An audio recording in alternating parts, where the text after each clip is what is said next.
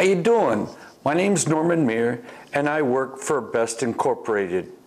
I'm an IPC Wire Harness Manufacturers Association 620 Bravo Master IPC trainer.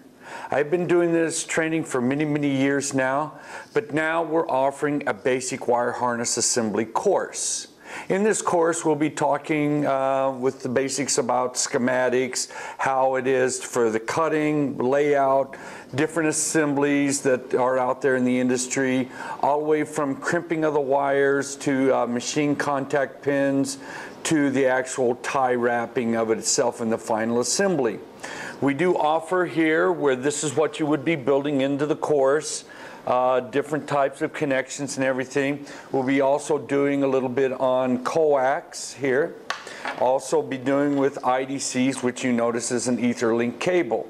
They're a lot of fun to actually manufacture. Or if you don't want us to come in and do the training, or you come here to Best Incorporated to do the solder training, we do offer a kit that you could do for in-house with your trainer.